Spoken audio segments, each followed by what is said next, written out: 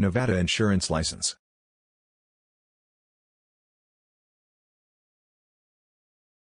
To get an insurance license in the state of Nevada, you should go through the following steps.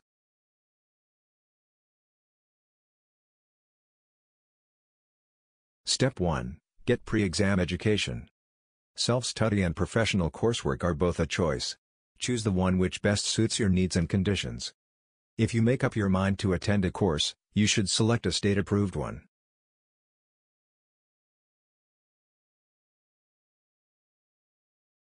Licensed courses, as a rule, cover the following subjects. Different types of insurance. Financial instruments and planning. Ethical issues. Public policy. Microeconomics. Social security. Public finances. Step 2. Pass the Nevada Insurance License Exam. You should take the state licensing exam for each preferred line of authority. The examination costs $39.49, depends on the insurance line. On the examination day, arrive at the test center at least 30 minutes earlier to complete registration.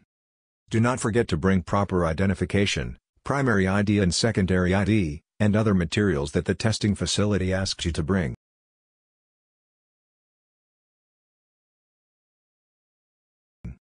The insurance examination is hard enough in the state of Nevada.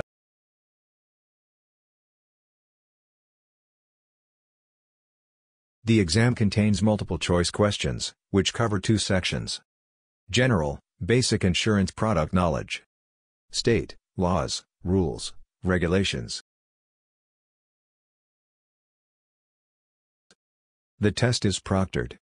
If you fail the exam, you will need to retake the entire examination. Step 3 Apply for licensure. Before you can legally solicit or sell insurance in Nevada, you must pay some fixed fees. Pay for pre-license education if you choose to take courses. $39 for a single line of insurance. $49 for combined lines of insurance. $185 for license application. Pay another $50 for the amendments.